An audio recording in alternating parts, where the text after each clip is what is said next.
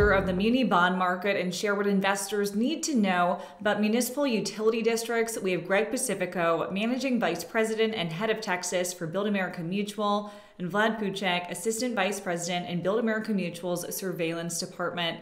Well, great to have you both with us. And Greg, kicking us off, what is a municipal utility district and what does it do? Sure. Thanks, Jenna. Thanks for having me. Um, municipal utility district, obviously a fairly uh, generic term um, in the municipal world. But when we talk about these utility district, these MUDs, we're referring to a specific type of issuer in the state of Texas. Um, and what these MUDs do, they go out and they issue general obligation bonds payable from property taxes. Uh, and those proceeds are used to reimburse developers for various uh, infrastructure projects. These projects are typically in connection with uh, new residential development. So the infrastructure is things such as water systems and sewer systems, drainage facilities. Um, and what's happening is the developer is fronting the cost of this infrastructure. And then the, the MUD, the municipal utility district, is issuing these GO bonds to reimburse the developer for those costs. To quickly follow up on that, Greg, how are MUDs different from other municipal bonds? Thanks, Jenna. Yeah, I'll focus on development deals in the sense of uh, deals that are getting done to finance new infrastructure and new residential development. Um, really, the defining characteristic of a MUD is the TCEQ, the Texas Commission of Environmental Quality. And they've come out and they've put together uh, various rules and regulations behind the MUDs, which essentially controls um, when a developer can get reimbursed and how much they can get reimbursed. And the rules are designed um, to prevent this reimbursement until homes are on the ground and until taxable value has been realized pursuant to the development plan. Um, so essentially, what this is doing is keeping the real estate risk with the developer and with the home builders, as opposed to seeing this creep over to an investor or a bondholder, which we do see in other parts of the country where developers are are either not fronting this cost at all, or the reimbursements are happening so quickly that this real estate risk is ending up uh, with a bondholder. And we've been hearing a lot about these MUDs lately, Greg. Why are they getting the muni market's attention right now? Sure. So the the growth in Texas is obviously no secret. So there is residential development occurring everywhere you look, and a lot of uh, these developments are getting financed through a MUD structure. Um, so uh, year to date, we've seen 3.6 billion uh, of par um, issued by MUD issuers and, and similar type issuers. Um, and that's year to date in 2021. And what's equally as important is that the average deal size on that 3.6 billion is just six million dollars.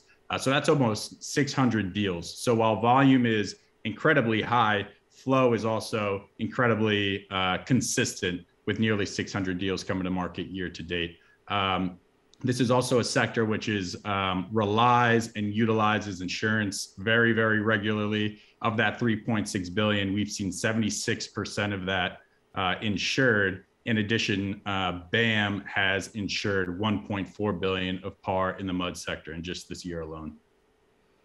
Wow. And Vlad, I want to get your perspective as well. How does Build America Mutual approach analyzing these bond issues?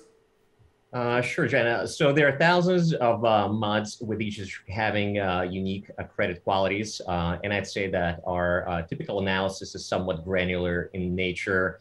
our focus is on real-time status of the development and the general understanding of the local health of the economic region. and that's going up from county all the way down to the individual district itself. Uh, we also analyze the size and the diversity of the district's tax base and, of course, its uh, growth over time. We also account for financial strengths such as uh, liquidity levels and tax rate competitiveness. Uh, and overall, MUD leverage and future debt plans uh, play a part in our analysis as well. Now, we place a significance on the general MUD location as well. Uh, we look at the surrounding developments, uh, make sure that the economic profile uh, will reflect our expectation of the continued growth of the district. And we utilize our drone assets on the ground uh, where we can see the latest progress of the development and the overall quality of the infrastructure that is put in place by, by the developer. And finally, I'd say another area where we excel is uh, the approach to understanding the MUD's natural disaster risk. Uh, we're currently partnered with uh, third-party vendors uh, who provide us with tools and model projections for flood and wind damage and where our portfolio might have uh, any natural disaster risk exposure. Uh, and basically, this gives us an ability to be proactive in the way we insure uh, and also keep on top of any debt service payments that may be coming due in the disaster affected areas. Finally, before I let you both go, Greg, what else should investors be aware of? Yeah, I'll, I'll touch on two quick, uh, you know, hot topics in uh, municipal finance. The first being pensions.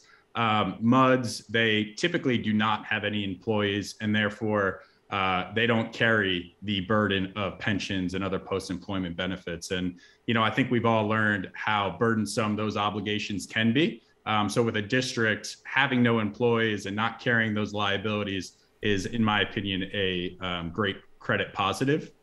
Um, number two uh, would be green bonds. As I mentioned, uh, these MUDs are financing projects for drinking water, uh, sewer systems, and drainage facilities, many of which qualify as green bonds under the ICMA green bond principles.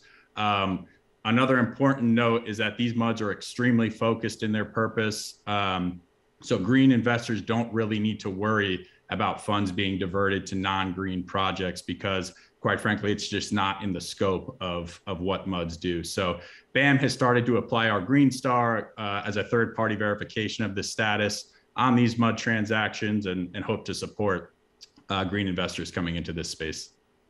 Well, Greg, Vlad, great to have you both with us. Thank you. Thank you. And thank you for watching. Once again, I was joined by Greg Pacifico and Vlad Puchek with Build America Mutual. Hopefully, you know a little bit more about MUDs than you did before this conversation. I'm Jenna Dagenhart with Asset TV.